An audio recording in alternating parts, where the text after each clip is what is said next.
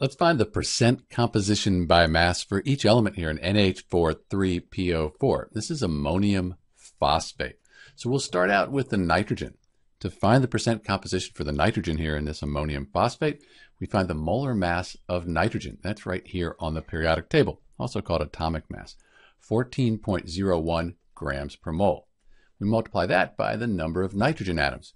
We have one, but this three goes to everything in the parentheses. 3 times 1, that gives us 3 nitrogen atoms right here. Then, after we multiply these numbers together, we divide by the molar mass of ammonium phosphate. If you need help with that, there's a link at the end of this video. That's 149.12 grams per mole. And you'll note we have grams per mole on the top and the bottom. Let's just cancel those out. So we multiply, get that number, divide, multiply by 100 to get 28.19 percent. We can find the percent composition by mass for hydrogen and then phosphorus the same way. For hydrogen, we have our molar mass of the hydrogen right here, and then we have 3 times 4, so we have 12 of those. We multiply, get that number, divide, then multiply by 100, we get 8.13. For the phosphorus, that's 20.77%.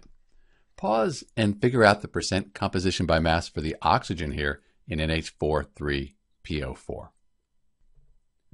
So we have our 16.00 grams per mole. We multiply that by 4 since we have 4 oxygen atoms.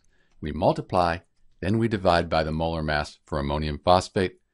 Get that number multiplied by 100, so we'll get our percent, which is 42.92%. So that's the percent composition by mass of the oxygen in ammonium phosphate.